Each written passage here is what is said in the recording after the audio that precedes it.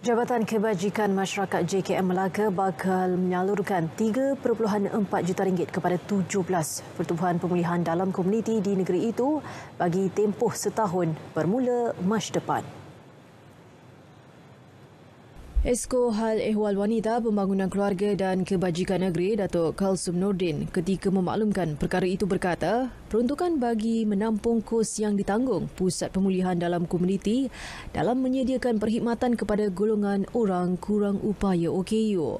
Mengulas lanjut, beliau menjelaskan kerajaan negeri juga bercadang mewujudkan program anak angkat pusat pemulihan dalam komuniti melibatkan syarikat swasta atau korporat khususnya bagi membantu meringankan kos perbelanjaan yang ditanggung pusat berkenaan.